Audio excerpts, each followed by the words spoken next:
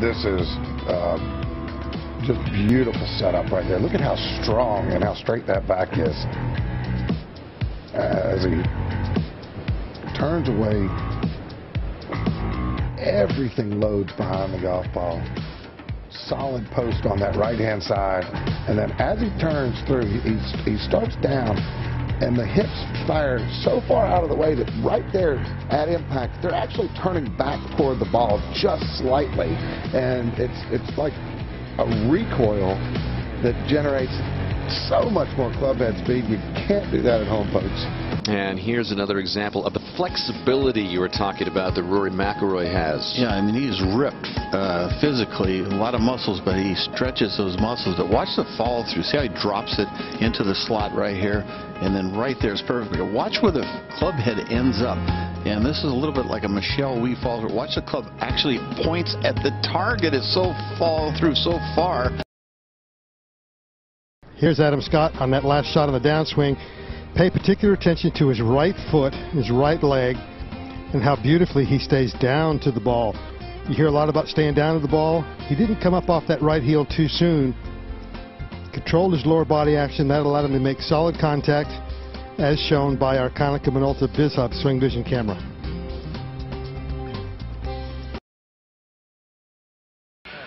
Yeah, nice straight back backside out, look to the top. It gets to the top. You know, look at the the club face and the left wrist are basically the same. They're parallel. That means a square face.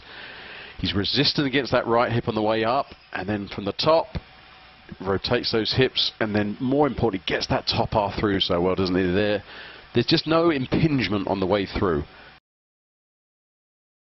Swing vision camera. I only want you to focus on Bubba's head and his cap. Nothing else. Don't watch the swing. Don't watch the footwork. Don't watch anything. Because as much movement as he has with his legs, with his feet, and as high as he gets his swing, the only way he can control that and find the center of the club face on the back of the ball consistently is by keeping his swing arc, his swing center in the same place. And especially when you consider he's swinging at 125 miles an hour of clubhead speed, he does a marvelous job of retaining his head position in my opinion, that's the key to his ability to find the ball consistently. Let's use our Konica Minolta BizHub Swing Vision camera to show how Dustin Johnson creates so much power in his golf swing. I want to identify the distance his arms are from his body at address because as he takes the club away, you're going to see the arms breaking away from the body, getting a little bit farther away from him. The net result of that is at the halfway back point, you're going to see the club head getting inside of his hands. Now, that's not good because what that leads to is his infamous wrist position at the top of his backswing. And that's what everybody focuses on, this position right here. But really what I want you to focus on is how wonderfully he rotates his knees, how beautifully he turns his hips and his torso. That unbelievable body rotation is really the key to his explosive power. As we change directions now, you're going to be able to see how he stays back on his right leg long enough, changing directions, so that when he comes into the golf ball, he is going to have the shaft in an absolutely perfect position at impact, and the back of the left wrist and forearm is flat. So he returns it to an impeccable position at impact because of his phenomenal body rotation. You'll never hit it as far as Dustin Johnson, but if you want to hit it farther, try turning your body as much as he does seems to catch every shot right in the middle of the face.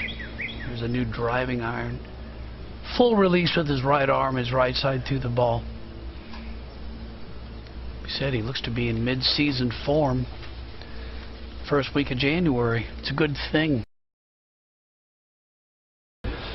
To look, work with boy, take a look at how much downhill this ball is key here is to keep your weight on your left side, and you can see that Kevin's doing that perfectly. Now, trying to maintain balance to the ball. At this point here, you're going to lose your balance, as we saw Kevin do, because your weight wants to throw down the slope. Now, if you look at Louis over here, um, you can see beautiful lines here from posture back just gently uh, hanging over the golf ball, the arms just hanging down below the shoulders. That's a beautiful situation there. Now, as he swings back, it's all very standard. Hands close to the body. You can see the lower half starts to rotate away. Very little hand action. And this is just beautiful stuff because there's no manipulation of the club as we get him to the top here.